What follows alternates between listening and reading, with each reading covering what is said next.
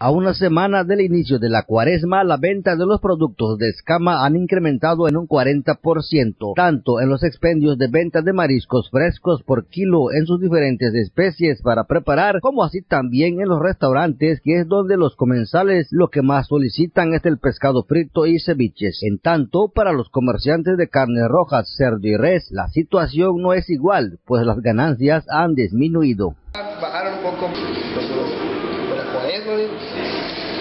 la primera semana está al 80, pero creo que va a bajar más. Para los comerciantes de carnes rojas, cerdo y res, la situación no es igual. Han tenido una baja en sus ventas. La carne de pollo se mantiene igual y esto es porque el producto es más barato en comparación con los mariscos, dice Héctor Totó, dueño de una pollería ubicada al interior del mercado de la localidad. El pollo se sigue dando el mismo precio, no ha subido para nada y ha subido un poquito más la venta.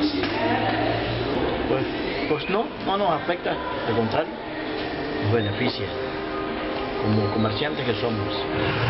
Por su parte, el director de salud municipal, Salvador Ibargüen Pancardo, recomendó que al comprar pescado deben de verificar que la carne esté firme, bien sujeta al esqueleto, las escamas adheridas a la piel y sin desprendimiento. Los ojos deben de estar brillantes, saltones y pupila oscura para evitar cualquier tipo de enfermedad. Con imágenes de Roger Morales de Tulum para Promovisión Francisco Canul.